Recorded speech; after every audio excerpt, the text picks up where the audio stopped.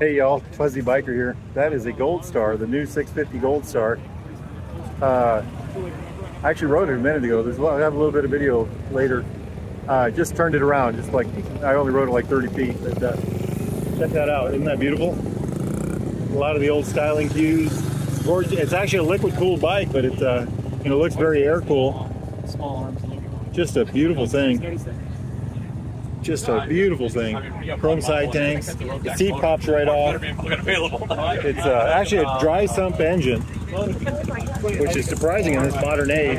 I don't know if it's a five speed or a six speed. It's got Brembo brakes front and back. Check that out. I call them landmines because every once in a while you'll just you'll get some. The side covers off of it right now. That's the oil tank.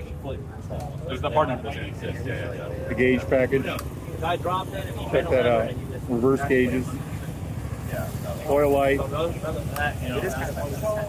Just a really beautiful motorcycle. And I've seen pictures of it. I think it looks 10 times better than in real life in skin.